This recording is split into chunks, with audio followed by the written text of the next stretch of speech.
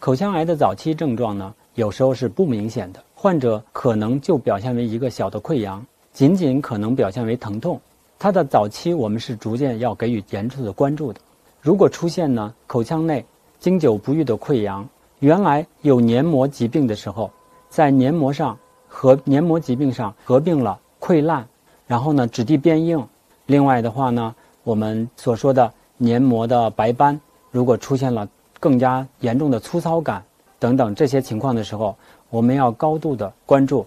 随着口腔癌呃的发生的话呢，早期有的比较严重的部位的，也可以出现呢张口受限，以及呢言语的障碍。像舌部的癌状，它可以引起早期就可以出现语言的障碍。像咽部的肿物，可以早期出现一些。